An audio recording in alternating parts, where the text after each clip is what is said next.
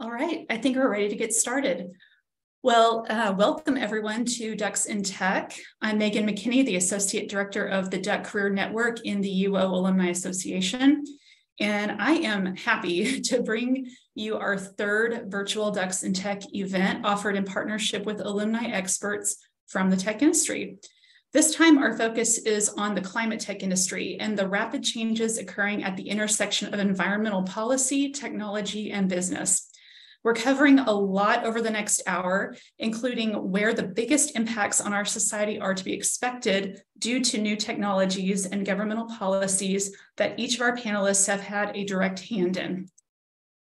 Our focus today is on what can go right with the future of our climate and you're going to hear from four Duck alumni who are working to move our planet in the right direction. I'm happy to introduce our moderator for this evening, Nick Macilveen. Nick is the founder and managing director of Embarkatech, a Silicon Valley based venture builder and consultancy focused, consultancy focused on sustainable fuels, clean energy, and technology. He engages with clean economy companies on development projects for advanced fuels, such as sustainable aviation fuel, clean hydrogen, and others that help drive long term decarbonization. Prior to joining the climate tech industry, Nick spent two decades bringing new technology and services to market in fintech, commerce, and mobile telecommunications. All right, Nick, floor is yours. Take it away. Thank you, Megan. Ducks and Tech members are University of Oregon alumni helping other alumni in the technology industry, providing advice and experience in sharing industry knowledge, career growth, and creating networking opportunities. Ducks in Tech, in association with the University of Oregon Alumni Association Duck Career Network, intends to help you make better decisions in your job, for your organization and in your career. We help identify opportunities to address challenges in the technology field. That brings us, brings us to today's topic, climate tech, the sustainable economy transformation. A March 20th report from the United Nations Intergovernmental Panel on Climate Change said that the Earth is likely to cross a critical threshold for global warming within the next decade.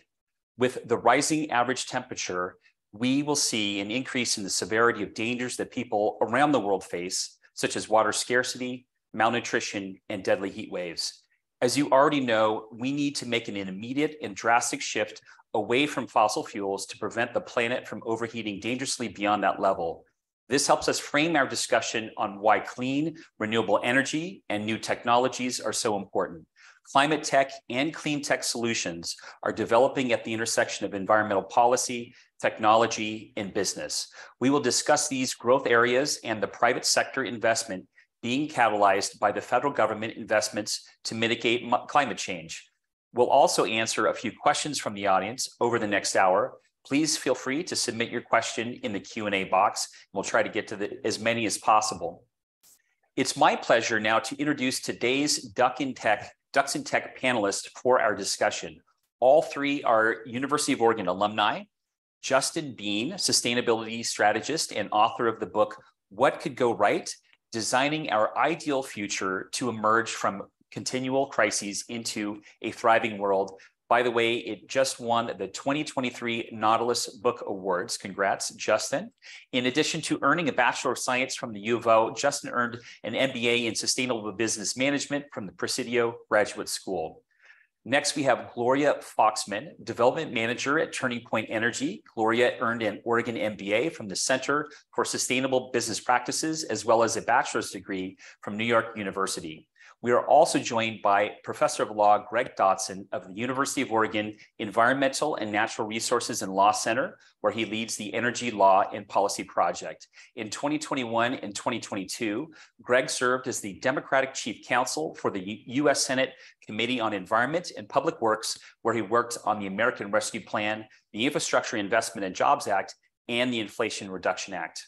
Greg graduated from the University of Oregon School of Law with a concentration in environmental and natural resources law. We'll segment this conversation into four parts. First, I'll ask our panelists to introduce themselves and discuss their career journey. Next, Professor Dotson will provide an overview presentation of the landmark Inflation Reduction Act and the Infrastructure Investment Jobs Act legislation to help set the stage for our climate solutions conversation. We will then explore the growing opportunities in clean tech, as well as covering some of the forthcoming changes in our growing clean economy and society. Welcome, Justin, Gloria, and Greg. Thank you for joining us today. Thanks for um, having us. Excited about the conversation. Likewise, and if I may invite all of you to go off mute, and um, I'll maybe I'll start with Gloria, then moving to Justin and to Greg. Please tell the audience about yourself and your professional background. Please tell us a bit about what you do in your current role, as well as what your organization does. Please also describe your career journey. How did you make it where you are today? Uh, Gloria, please go ahead. Sure thing. Thanks, Nick. Hi, everybody. I'm Gloria. Um, right now, I'm a development manager at Turning Point Energy, which is a small privately held um, solar developer. Um, and in my role, development manager, um, I work on primarily community solar projects. So for Turning Point, that means projects that range from about 25 to 35 acres in size. Um, and as a developer, I would qualify potential projects um, working with our real estate team. And then for viable projects, I work with our civil engineering partners and our electrical engineers in-house to conduct um, feasibility studies, to work on the final design, and then I work with local authorities to go through the permitting process, whatever is required for that parcel. Um, but also at TPE, we really believe in giving back to the communities where we work.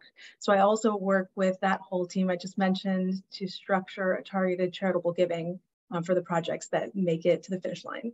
Um, in terms of how I got here, uh, I have a background in residential real estate sales in New York City, which was really fun and very fulfilling because of the relationships with my customers. But as I heard more and more about climate change, I really felt the call to try to work in that area to incorporate that part of my values into my actual profession. And as I was thinking about going back to school, uh, a business degree with a focus in sustainability really made sense to me because it could take my skills and hopefully mold them so that I could be of use um, in the fight against climate change. Um, so the UO Sustainable MBA was great for me. It really helped me work on some cool projects throughout the two years, as well as my summer internship where I was an EDF Climate Corps Fellow. Um, so I worked with a communications REIT to set um, science-based targets, which was very interesting. Um, and you can see, I don't want to speak for too long. You can look at my LinkedIn if you're interested for some reason. But um, what was really uh, helpful for me was working with Josh Skov, who's one of the professors there and teaches um, renewable energy class, which helped me learn how I could fit into that industry and was really helpful for me getting a job in the solar industry with no experience right out of the gate.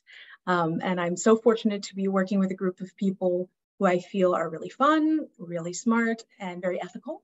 That's what I was looking for. Um, and I started as an analyst there, and now I'm a development manager. I've been with them for about two years.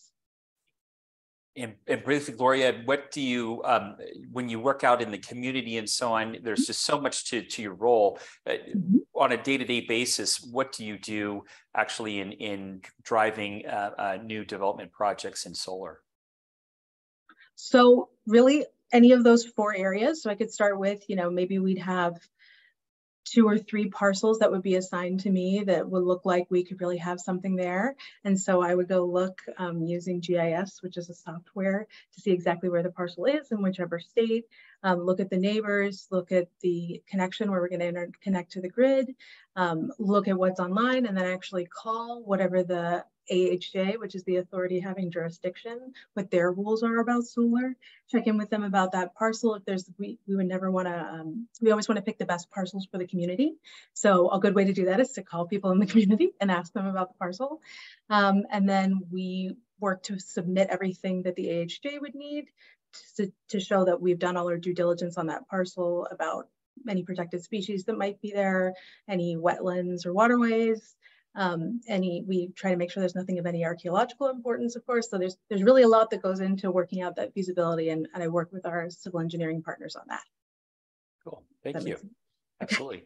and, and Justin, may I turn to you and ask the same question to you, please?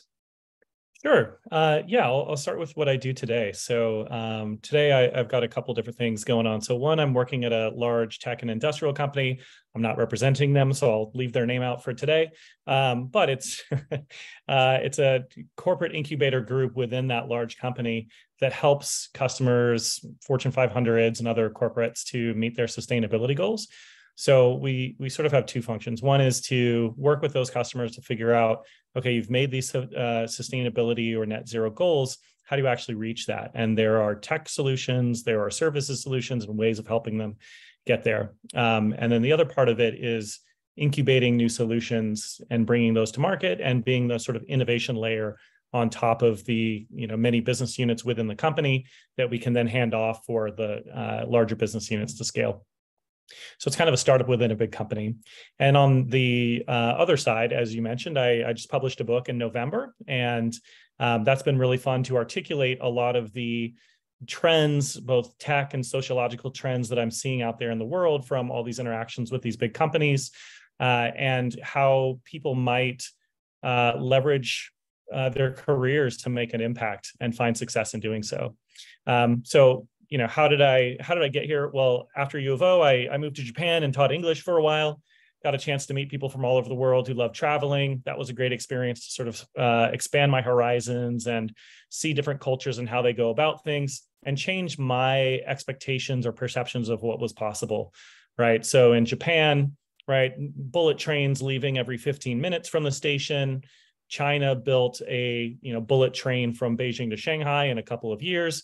Meanwhile, here in California, we're a couple decades in and and working our way to it. Not making a value statement about it, but it's just different different expectations, different ways of doing things. Um, so from there, moved to San Francisco and did my MBA in sustainable management. Uh, and got a chance to do some really interesting internships. Uh, one in South Africa with a renewable energy company, uh, and um, another with City of Berkeley, helping them with their charging EV charging infrastructure strategy. Uh, and then from there, went to a, a, startup that was doing smart city technology, smart parking apps. Um, that got acquired by a, a, a, big European firm. And then uh, decided to do some independent consulting for a while and said, yeah, how, how can I help others with the sort of skill set that I've been building over the last few years? So worked with a lot of early stage startups on their strategy, marketing, product, and helping them find product market fit and go to market strategies that um, you know help to grow the business. And these are all businesses that are trying to make a positive impact. Um, and then later on from there uh, joined a large company where they had just acquired a, a, startup and needed to integrate and scale it up. And we're able to 10x that in about five years. And now i'm in this other division where we're doing the incubation and then decided to yeah go forward with the book and do a bit more public speaking and and get to both hear more from the market and what people are are working on um, with incubators and startups where they're really at the cutting edge of all the innovation around climate tech and then also the fortune 500s that are trying to figure out their their role in this new world that we find ourselves in and we will get to the book uh, what could go right here a little bit later thank you justin and thanks greg, for picking up a copy absolutely absolutely and and uh, moving to you greg i also have not only that question of your of your career journey but also please tell us a little bit about how you took the time and why you took the time to work on the inflation reduction act and the Infrastructure Investment Jobs Act. I understood you took some time away from the University of Oregon, but this is uh, academia. You had several roles prior to that. If you could please uh, tell us a little bit about that as well, please. Sure, Nick. Happy to talk about it. I, I um,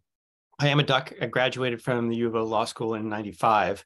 Um, I returned to teach in the law school in 2017, and um, focusing really on on on environmental issues. Prior to that, for about two and a half years, I led the energy and environment work at a uh, Washington D.C. based think tank, which um, which was very you know very interesting position for a sort of thinking about how policy moves. Prior to that, for um, 18 or 19 years, I worked uh, in the House, U.S. House of Representatives. I held senior positions in on the House Energy and Commerce Committee uh, and on the House Oversight Committee. So I, I um, had been involved in legislation that sought to address climate change. It's a obviously just a super very important issue, and um, and so uh, you know it's a it's a great issue to have your career wrapped up in because it is so important. And so then uh, in 2021, the um, after the 2020 election, the uh, Senate Democrats retook the control of that chamber. And so I got a phone call saying, you know, we need a new chief counsel for the Environment and Public Works Committee. And so it was a terrific, just a terrific opportunity. The uh, law school and the university was very supportive and um, took a leave of absence for uh, for 2021 and most of 2022, uh, where so I was able to work on the um, American Rescue Plan, the Infrastructure Investment and Jobs Act, and the Inflation Reduction Act. And in many ways, it was a I was, you know, not to be too uh, assertive about it, but I was almost made for the job given the experience that I'd had before. I already had a lot of congressional experience and had been thinking a lot about um, about energy policy and innovation and how regulations and and um, things like fees and tax policies can interact. Uh, thank you, Greg. And that's a perfect segue. I will hand the baton uh, to you for your presentation. Um, please share your slides now to help us better understand what to expect from the legislation you helped create. Uh, uh Greg, the floor is yours. Great, thank you so much. Um, well, I'm. I think everybody can see this uh, can see my slides here. This is, I just give you a little picture here of uh, to give to establish my street cred that I was in fact uh, in the Capitol. This is right off the Senate floor and wearing my N95 during the Senate debate on the um, Infrastructure Investment and Jobs Act. So the backdrop for 2021 and 2022 was a period of um, significant uh, underinvestment. And you see that we saw that in things like uh, serious drinking water disasters that had happened not only in Flint, Michigan, but in other major American cities. Um, more than 40% of bridges were at least 50% old, uh, 50 years old, and nearly 50,000 bridges were considered structurally deficient. Um, inadequate broadband had really come to light through the through the pandemic, and there is a lot of bipartisan consensus that that the nation had been underinvesting in infrastructure and needed to address that. And then um, also less bipart less bipartisan agreement, but um, there was also clearly a uh, underinvestment in moving to a sustainable economy. Scientists, as you'd mentioned, had told us that we the world as a whole needs to reduce its emissions by 43% or so by 20, 2030. We weren't on track for that. Um, and so uh, because we had a lot of bipartisan support for for many things, um, there was a two-track process. One that would capitalize on that, and then the second one to address climate change, where there wasn't as much bipartisan agreement to act. And so that that um, first bill is the Infrastructure Investment and Jobs Act. Uh, it addresses it's a five-year spending bill, providing 1.2 trillion dollars. Addresses everything from uh, airports and bridges and highways drinking water, wastewater, broadband, um, communications. It's it's a it, there's a lot in this bill, um, historic in its amount, and this passed with broad bipartisan support. And then the Inflation Reduction Act was enacted in in August of 2022. Um, this is the piece that addressed climate change in a much more significant manner. And without going too much into the parliamentary details, uh, this bill could be passed on a partisan basis because it's a budget reconciliation bill. It wasn't subject to the filibuster. It limited the kinds of provisions that could be put in the bill, um, but uh, it was able to actually get enacted. And I've included on this chart here a reference to uh, a number that's been repeated in the press many times that this provided $370 billion incentives for climate change investment. Um, in fact, um, of course, $370 billion is quite a bit of money. Um, and you know, it's a it's an estimate that was created uh, prior to passage of this bill by the uh, nonpartisan Joint Committee on Taxation and the Congressional Budget Office. They uh, you know review provisions, estimate based upon all the sources of information that they have access to what they believe any given legislation will score. They came up with 370 um, pretty much everyone now I think agrees that this is a vast underestimate. Um, and the reason for that is because the biggest, the single biggest part of that 370 is $205 billion in energy tax provisions. And of course, no one's filed their taxes for 2023, let alone 2031. And so that estimate, uh, you know, was made, but now people are beginning to realize there's a much broader tax appetite for these kinds of investments. And so uh, shortly after it was enacted, Credit Suisse came out and said, we think that's going to be closer to 970 billion. And then just in the last couple of weeks, Goldman Sachs says, we think it's going to be more like 1.2 trillion. And of course, that 1.2 trillion is really just the federal incentives to mobilize private sector investments. So Goldman Sachs goes on to say they think it creates a $2.9 trillion investment opportunity by 2032 and an $11 trillion investment opportunity by 2050. So that gives you a sense of um, just how significant this is as far as mobilizing capital. Shortly after the bill passed, there was a number of um, uh, analyses that that tried to figure out what the effect would be on climate. And this, this one is a chart from the Rhodium Group.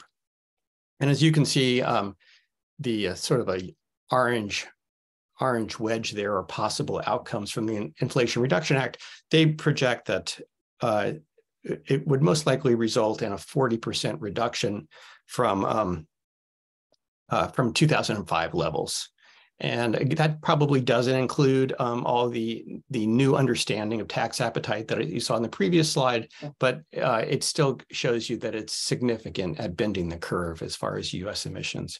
How does it do that? It does it through tax policy, grants, loans, loan guarantees, and rebates. And that's the nature of being a budgetary bill as opposed to a bill that could impose regulation or um, or take other other steps like that that you you could are are available in in uh, sort of more more typical legislation, and they range the sectors uh, that it affects range from power generation, transportation industry, residential, building materials, and aviation fuels. There's also one small fee, but um, it's a very small part of the bill, so I will not discuss that. So maybe just a quick tour of what we can see um, since enactment from some of these uh, in some of these sectors. It, the transportation uh, provisions in the IIJA, Infrastructure Investment and Jobs Act, and the Inflation Reduction Act um, establishes a number of incentives to move towards zero emission vehicles. We have a new state formula funding program for EV charging, community charging grant program is competitive, new tax credits for the vehicles, um, that are assembled in the US, as well as for commercial electric vehicles, no matter where they are assembled, EV charging equipment, new grant programs for heavy duty zero emission vehicles, electric school buses. And there's also funding to help transition the Postal Service to all electric vehicles. Since enactment of, the, uh, of those bills, there's been more than $90 billion in investment in EV and battery manufacturing in the United States. And um, while US vehicle sales have declined in 2022 by 8%, EV sales have increased by 65%. So we're now at 5.8% of all new cars being EVs, which is rapidly growing. This is what Goldman Sachs pro projects for EV sales going forward. The orange line is percentage of EVs that are sold each year. And as you can see, by 2035, EVs really um, take over sales. The, the dark blue columns are your traditional internal combustion engines, and they decline at the same curve. So this is transformative in the, in the transportation sector.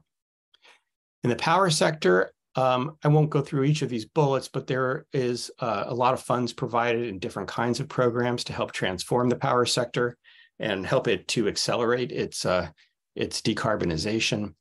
Um, what has been the effect of encouraging deployment of renewable energy, clean energy, um, bonus incentives for for energy communities that are transitioning away from fossil fuels, all of these things. What do we what do we know so far? Well, American Clean Power, which is the National Trade Association for the renewable energy industry, says that in the nine months since the IRA passed, they have seen five years worth of clean energy investments. Um, some of their highlights are, are, are here. And I would just say that, you know, nearly 96,000 megawatts of announced clean energy capacity, that's equal to, um, I think about 8% of the total installed capacity today. So that's very dramatic as far as a ramp in clean power. The Energy Information Administration tells us that we're going to uh, be down well below 70, 70% below 2005 levels by 2050. And you can see most of that happens by 2030. So I think um, I think that's only part of the story, or I think th- this the actual emissions reductions could could even exceed that. For industry decarbonization, we see a couple different approaches. One is to actually encourage um, domestic clean energy manufacturing to be located uh, in in this country, and and Congress did that by providing $10 billion in 48C clean energy manufacturing tax credits, and also by including domestic content requirements. So you want to sell those cars that get the tax that get that are eligible for tax credits use domestic content. You want to sell solar panels, use domestic content. You want to sell wind turbines, use domestic domestic content, and all of that is quite significant, I think, for um, for uh, for for that sector. And then for hard to decarbonize sectors, uh, those that cannot electrify and take advantage of a of an electric grid that's cleaning up, major investments were made in hydrogen. The IIJA included $8 billion to establish regional hydrogen hubs and then the IRA came in behind that to provide tax credits to reduce the cost of the of green hydrogen by up to one half. So, that, so uh, a big move um, for hydrogen in the bill. In the residential sector, um, we have a slew of new programs for for those who can benefit from tax credits. We have new tax credits for uh, heating and cooling, and for rooftop solar, battery storage, geothermal heating, electrical panel upgrades. For, for low and moderate income households that can't take advantage of those tax credits, there are new rebate programs to help um, electrify and also to, uh, to um, move to energy efficient um, um homes. So, um, or to make homes more energy efficient, not to actually move to them. So, so this is also positive. Um, RMI estimates they had initial analysis, and they see you know millions upon millions of heat pump installations, home energy retrofits, electrification upgrades for homes, as well as um, influencing new homes that are built and also some commercial spaces. Building materials is kind of an unsung source of greenhouse gas emissions. 11% of global emissions come from building materials. And uh, the IRA sets up a new $5 billion program designed to help ensure that all public projects start to uh, use low carbon building materials and, uh, and, and therefore make them more broadly available to all construction projects. So with a premium of less than 1%, uh, you can get dramatic reductions of um, or 20 to half, 20% to half of the reductions approximately. And so these are changes in the way concrete are, is made, um, rebar, insulation, et cetera. And then the final sector I was going to mention is sustainable aviation fuels. Um, here, you know, we we ha we haven't had a terrific solution for uh, addressing the um, addressing uh, the petroleum-based jet fuel that we need for commercial airline and also you know non-commercial airlines. And so what this the IRA combines a grant program to scale the production of sustainable aviation fuel and then a tax credit of $1.25 per gallon if it reduces emissions by at least 50% and then that gets gets scaled. The administration has articulated this as a, as a grand challenge to help essentially um, move the jet the uh, move a, aviation off of petroleum-based fuels by 2050. And um, so that's really uh, my presentation in a nutshell. Uh, I think we're entering a period of historic funding opportunity for climate change action. Early sh signs show that industry and investment flows are responding to these policy signals, encouraging climate action. And in combination with the private sector leadership and state policy, the investments could really be transformative. So thank you so much for listening to me. And now I will turn it back to you, Nick. Thank you, Greg. Who would have thought the United States Postal Service would be going EV? Here we are. It is a whole whole new world. Thank you uh, for that presentation, uh, Greg. And um, we will that'll help us kick off um, our group discussion regarding the opportunities in the clean e economy transition. I'll just open this up to to the group, um, and if, if, if you folks all want to uh, go off mute, um, feel free to jump in. I'll ask this to to the group. Um, you know, as Greg mentioned, the Inflation Reduction Act and the Infrastructure Investment and Jobs Act will catalyze new investment and, and create growth. What areas of climate tech and sustainability do you see personally and professionally uh, where there's significant growth both in the near term and the far term now that we have some of this investment coming and some some certainty uh, from from that space from the investment space of the federal government what are you seeing um, both personally and professionally i'll just leave this open either justin gloria greg what, what are your thoughts I guess I can jump in there. Um, yeah, I think we're seeing it in, in two areas. One is the uh, IRA or Inflation Reduction Act is funding a lot of new energy projects, transitions to EV fleets. As as I mentioned before the webinar started, I'm in Anaheim today at the Advanced Clean Transportation Conference, and this is where we're seeing tons of new electric trucks, charging solutions, fuels of different types, all kinds of things. We're seeing a huge proliferation in the solutions and ecosystems being built up to support the electrification of transportation. So that's that's awesome. I think on the other side, it's not all about federal funding though. I think that's a huge important part of it, but also the private sector is also funding a lot of innovation. And so I think the venture capital um, that's flying into it is really interesting too. So for example, over the last few years, there's been record amounts of venture capital going into all kinds of innovation, including climate tech. Now, this last year, uh, venture capital went down by about 35% for, for all startups. And so that's been a, a bit of a crash for VC. But climate tech startup funding only went down 3%. So, you know, as as Greg mentioned, we're seeing this with EVs, right? EVs are way outperforming the auto market. We're seeing this with climate tech startups across the board. And we're seeing a greater diversification of the types of startups that are being funded. So classically, climate tech is vast majority energy and transportation startups. And now we're seeing a lot of regenerative agriculture. We're seeing a, a ton of circular economy. So all kinds of recycling and circular economy solutions, property tech, you know everything across the board is starting to diversify and every company is starting to want to or to become a climate tech company and i think those are the ones that'll succeed in the future and the ones that are asleep at the wheel and don't think that you know this is anything big and they can just ride out the storm in my opinion are going to be the the kodaks and the uh, blockbusters of the future that miss the digital transformation. So while the sustainability transformation is taking place, I think this is the biggest opportunity of you know at least the next few decades as we remake the entire global economy piece by piece to be sustainable.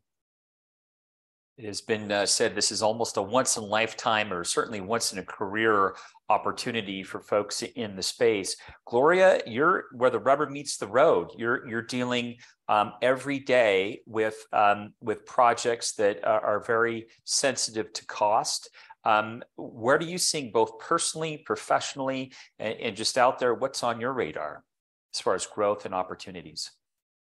Sure. Well, um, I, I definitely look at the IRA through this more narrow lens most of the time. Um, so for me, I'll just talk about myself.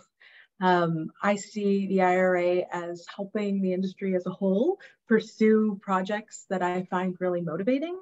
Um, for anyone who's truly interested in climate change, you're very aware that solar has a wonderful soulmate in storage. Um, so extending the ITC, giving industry that certainty um, and that that ITC can be applied towards storage projects is great. Um, and it can allow, uh, I think with more investment in that, one of the things you were asking was uh, near-term growth areas. I would say anything that can make storage work well with solar, uh, better, quicker, cheaper would be great. That's an area of, of growth. Um, and then of course, domestic content is one of the parts of IRA, you know, as part of a small community solar developer, being able to buy content from the US would be amazing.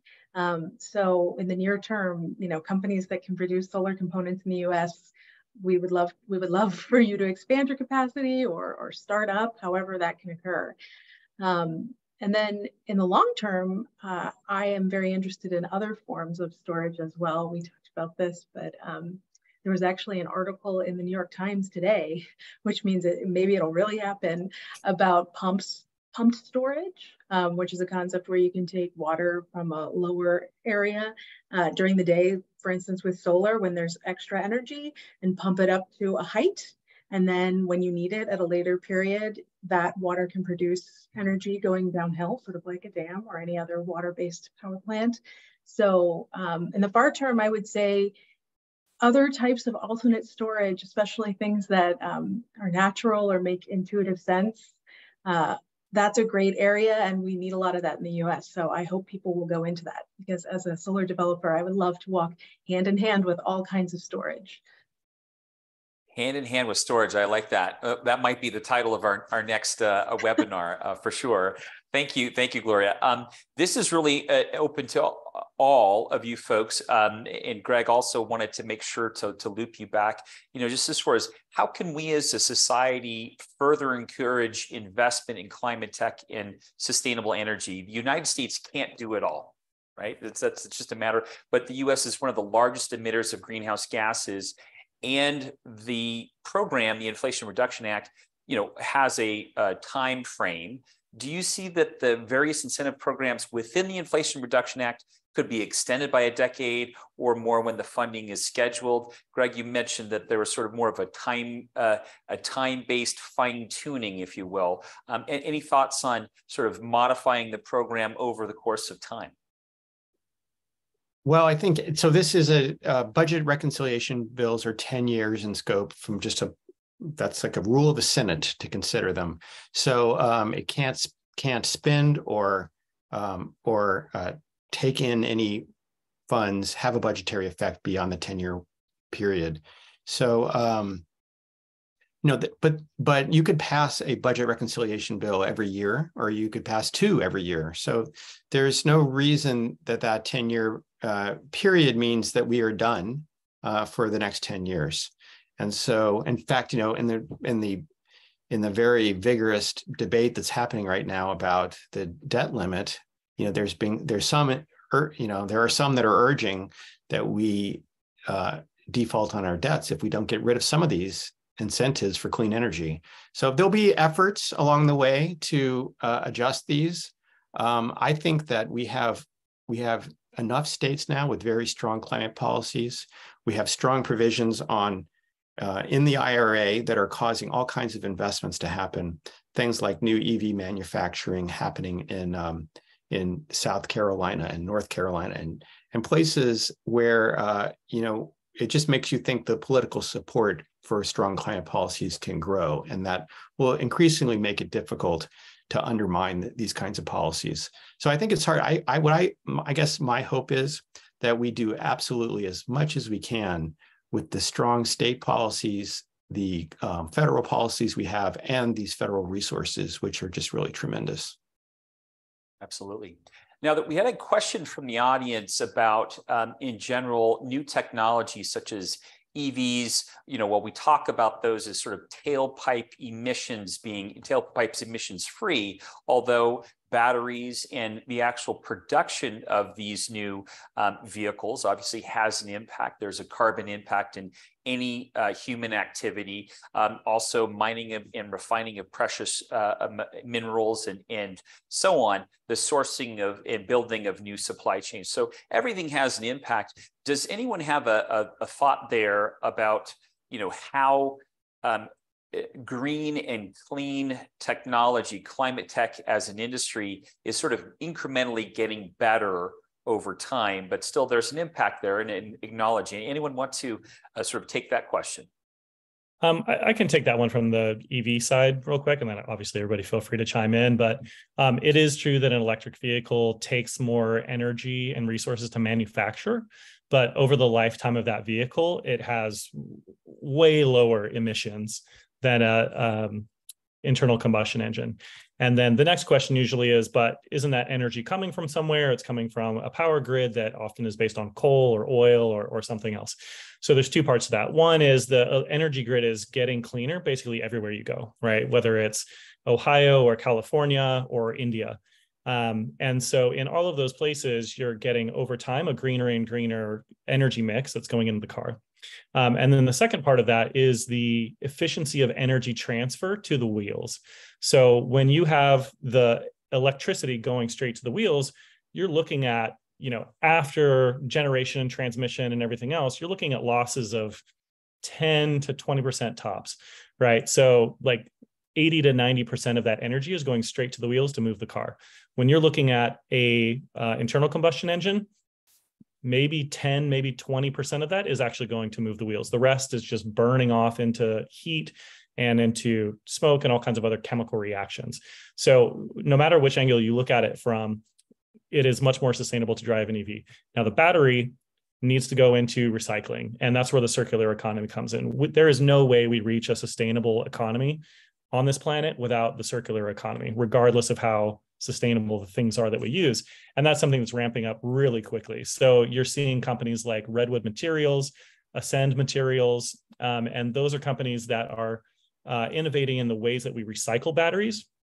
And it's a huge business. Again, we're talking about these are opportunities. Like if you see a problem, we shouldn't just you know dwell on it and say, oh, this is a problem. It's never going to work.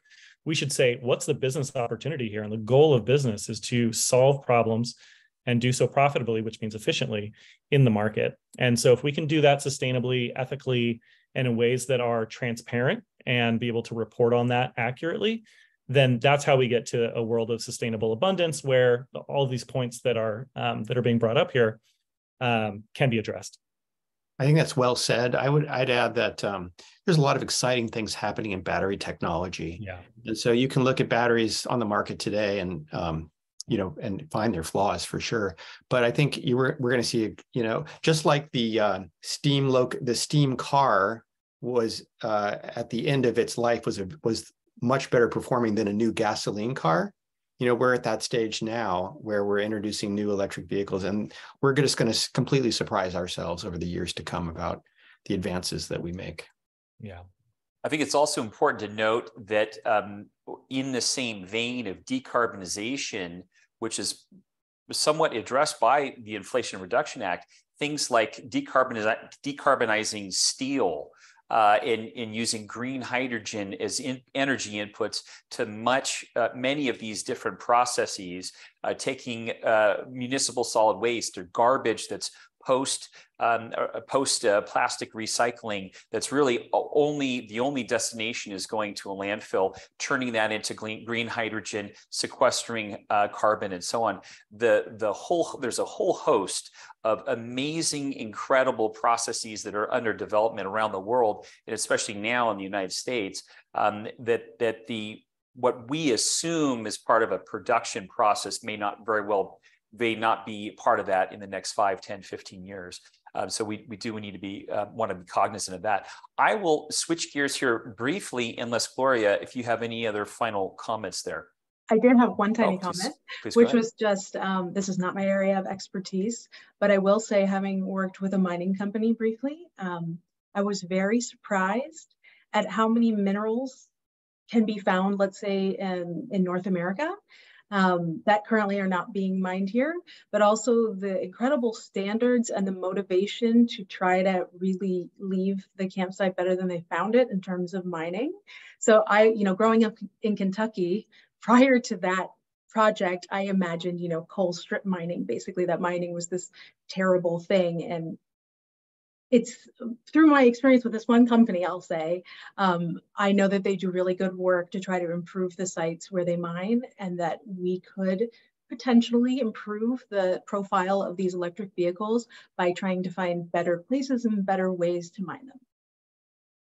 I'm going to agree with Gloria on that and just add that uh, seeing other mining companies also, I 100% support what she's saying. And I think this sustainability conversation is much more front of mind than a lot of us might think. And especially with social media and the transparency that the general public is getting into the operations of companies and where it is unsustainable and where it is unethical, um, that they are searching inside their companies and you know for sites and ways of doing things that are much uh, more ethical and sustainable so that they don't lose all brand value by you know losing trust of the public and uh, being involved in sustainable fuels and advanced uh, fuels, specifically sustainable aviation fuel, the type of measurement that's required, the rigor, sort of end to end, um, is is quite overwhelming. Actually, to actually collect all of the data to measure not only the CI score, the the the uh, carbon intensity score of the actual gallon that gets to a, a uh, the wing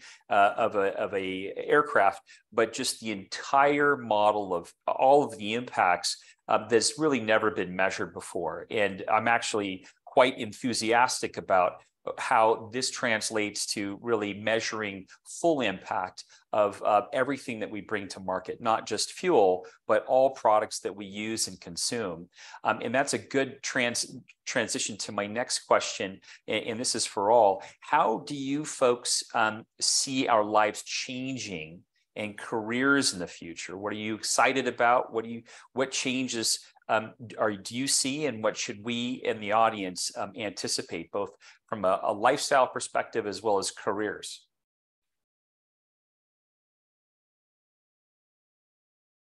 I can start with that one.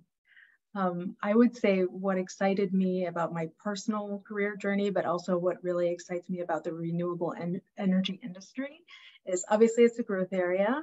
Um, it's one where I found that a lot of companies have a really sustainable way of working, not to hit the pun too hard, but also that there are many roles for people who do not have industry experience.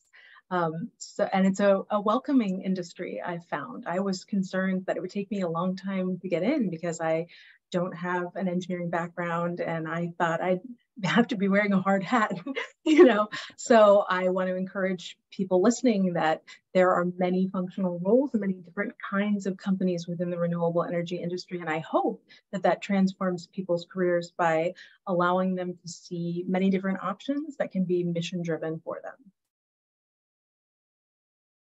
Thank you, Lori. Greg, Justin? There's, there's a, you know, there, there's just, um, when you think about the magnitude of the challenge for addressing climate change, it's really significant. And I think we have a, we really have um, a, a moment of where we can appreciate the opportunity and the careers ahead. It's there are in, as you can just see the scope of of what needs to be done and what is being incentivized to do. Um, people can work in almost any field now and find a positive way to uh, help drive down emissions and help solve this you know really important problem. So i think that's a very exciting aspect to it. I think there's there are you know i don't know that that 10 years ago we would have said oh installing um, heat pumps is a really an environmental job but i think it really is. And um, the international energy agency says we that as a planet we have to install 600 million heat pumps um, in order to address climate change. And so uh, we the united states can certainly do its share Yeah, I I would say it's becoming easier and easier to jump in and start providing value in a way that returns you some income. I mean, we think of these things as being, you know, big centralized groups that are able to do things. You don't need anyone's permission to get started working on the problem, especially with things like Chat GPT, Auto GPT, all kinds of marketplaces to do work. You can do everything from the you know training for installation and doing kind of the groundwork all the way up to building new software and really solving problems. And so i think we're moving towards a more distributed world where people who are taking the initiative and understand the tools that are available to them which are unlike anything the world's ever seen especially with artificial intelligence to empower individuals who are creators who want to you know push out the message and and help share information and training or start new startups. And there's crowdfunding available that's funding uh, entrepreneurs that are non-traditional and would um, usually get funding from traditional venture capitalists, which is great. It's more inclusive, it's more equitable, and it's more meritocratic, which is what um, you know we ideally would like the world to be. And so I think there's a, a distributed model with so many new tools, access to capital, access to finding each other and building teams, and finding customers that it's easier than ever to get involved and and start a business or join one that's making incredible impact. And I think I'll just say this last part that I think we're going to see many new of these many new companies like we saw with Facebook, Uber, and these digital companies that came out of nowhere um, and and blew the traditional companies out of the water. I think we're going to see that with smaller and smaller groups of people that start things that we haven't even thought of yet that address climate challenges and social challenges. Exciting times. What will we what will we look back on in 10 to 20 years from now and find strange or funny that we did back then? One example that, that comes to mind using lead paint. No one would do that. No one would put lead paint in their, their house today yet. Lead was widely used in paint decades ago. Shifting forward 10 to 15, 15, 20 years, what are some ideas of change that would make something that we're doing, a few things that we're doing today seem funny or weird or even ridiculous? I think similar to your lead paint, um, you know, spewing poisonous chemicals from every vehicle at child breathing level throughout our dense cities seems ridiculous, right? If we have alternative ways of doing it, it's it's sad and it's causing high rates of asthma throughout cities, mostly with children, and that's a tragedy. And I, I think the movement to electric and movement to clean transportation is going to be a, a really welcome, you know, public health movement on top of all the environmental positives one of the ones I hope is commonplace in the future is the idea that we can set our devices and appliances to perform tasks for us at times when energy is not at a premium on the grid.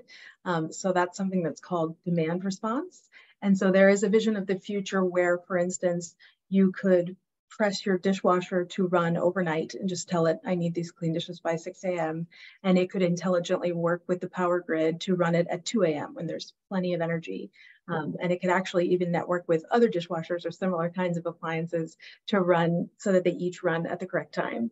Um, and that can be used to charge electric cars. It could be used for many different kinds of maybe run a, load of laundry or the dryer, things like that.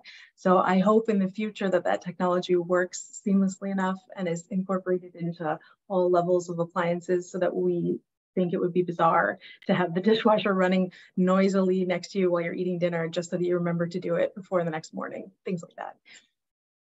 I, I think that this is a, just a wrinkle on Justin's point, but I think we'll be able to, at some point to look back and say, why the heck did we continue to burn gasoline when we knew what, it was doing, when we had alternatives and we uh, we didn't rush towards them?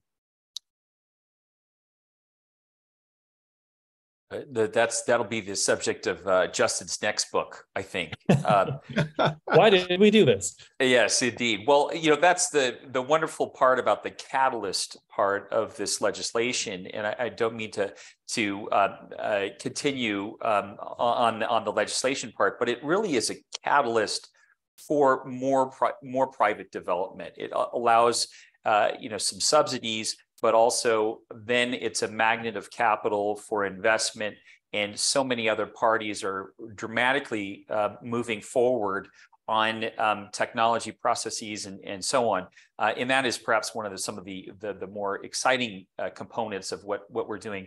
There was a, a question from the audience regarding artificial intelligence, and that being a, a, very um, timely topic today, and it's quite um, uh, controversial almost, if you will, even over the last few weeks. But the question was around um, environment uh, and uh, AI's role in uh, the climate tech and clean tech space. Does anyone sort of want to have any thoughts about how AI might play in um, climate tech, clean tech, and uh, sustainability?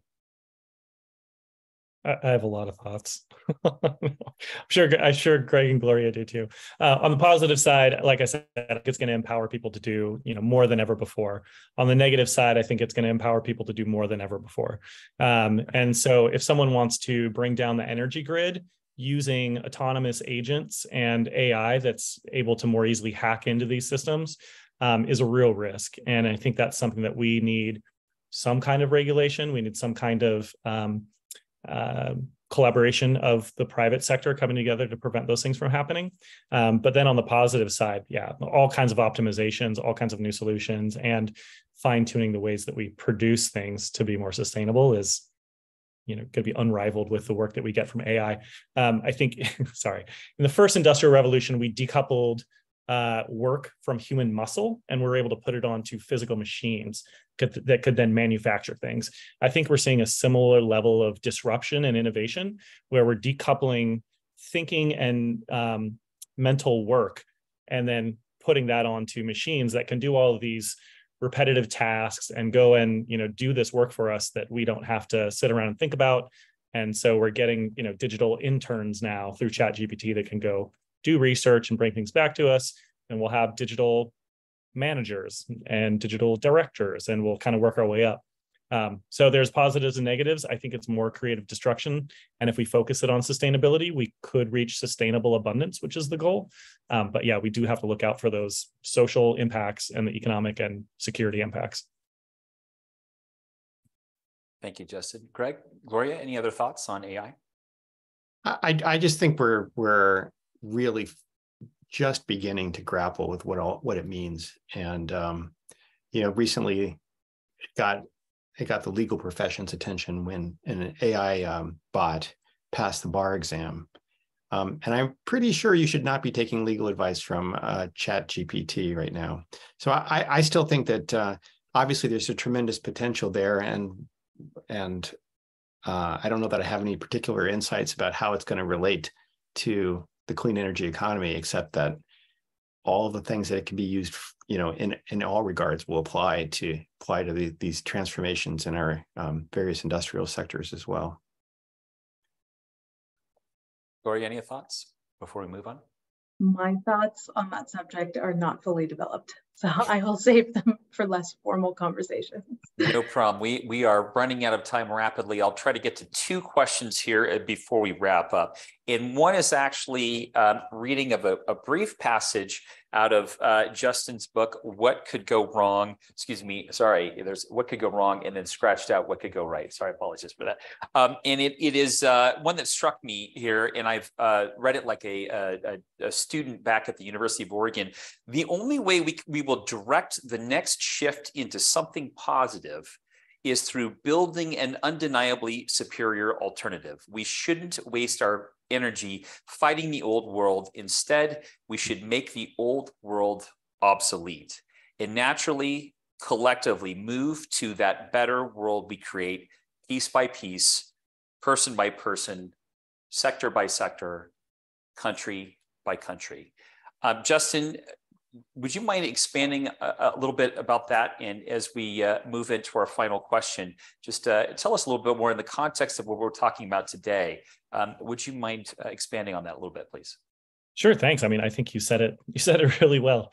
Um, that um, you know we do. I think in the climate uh, community often focus so much on the problems, and it's easy to get um, become apathetic or cynical about the future. And there's some serious challenges. I'm not trying to say that we're not facing some really existential threats and challenges, but how do we do something about it?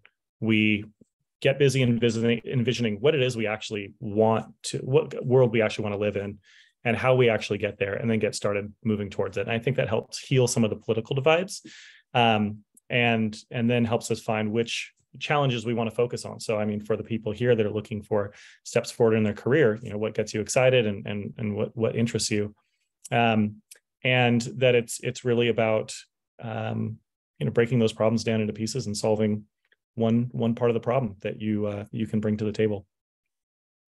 Thank you, Greg and Gloria. Do you have any additional thoughts on the subject of creating a better future? You know, I, I would say that um, along the lines of that you're, what you were recently just exploring. I think um, sometimes people say that energy is a process of addition, not subtraction. That uh, you know we didn't stop burning coal. Coal's at a you know at a 50 year low or something like that um, as far as consumption goes. We didn't do it because um, we just prohibited the use of coal for the most part. It's because other alternatives became available and were better. And so I think that's the moment that we're in in a lot of these spaces. Um, you know, for a long time, people have been educated about the challenge of climate change. Well, now there's solutions, there's resources, and there's ways to use those resources. And um, and there's actually commercial products uh, that will, you know, that you have a choice that to help do that. And I think uh, I think that um, addition of going of uh, choosing the cleaner alternative and having those better options are going to be good. The the one the you know the the one thing is that um, is that the other is that uh, the older technology will still be around and well capitalized, and they are not going to just yield the floor. So I think there are challenges that remain. And some of those older technologies also can be incrementally improved uh, such as decarbonize, for example, and making things less polluting as we transition to this clean economy. Uh, and, and that's certainly um, an option uh, for, for many of those um, facilities out there. Um, Gloria, did we get to you? Any other thoughts on creating a better future? I would say uh, it can be very intimidating to look at um, some predictions and think that the problem is too huge. Um, so to sort of pile on what Justin said, I would say if you look at research that's specifically targeted at a course of action to help us, so I'm a big fan of Project Drawdown, which is available online, which can sort of point out how certain initiatives can help reduce emissions or otherwise help us help the environment um, with actual numbers, it can be very empowering as opposed to just hearing um, blanket statements about industry or um, you know certain countries, and that can leave you feeling less empowered. Thank you for that. One final question. We are really at time, but this is uh, an incredibly important conversation, and this is a question to you all. For those in our audience that might be interested in entering the climate tech workforce, or for those with employers seeking to participate in the clean economy transition, what brief advice do you have for them and what future changes, challenges, or opportunities should they anticipate in this space?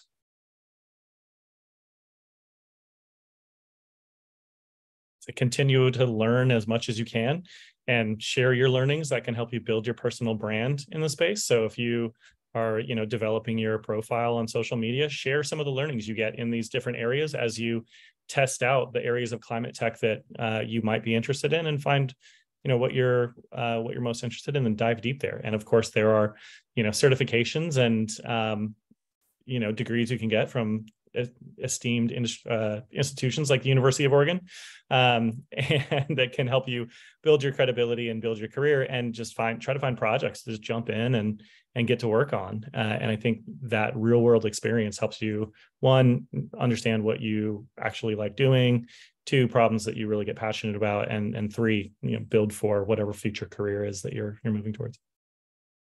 And careers can change, um, you know, many times during the course of your life.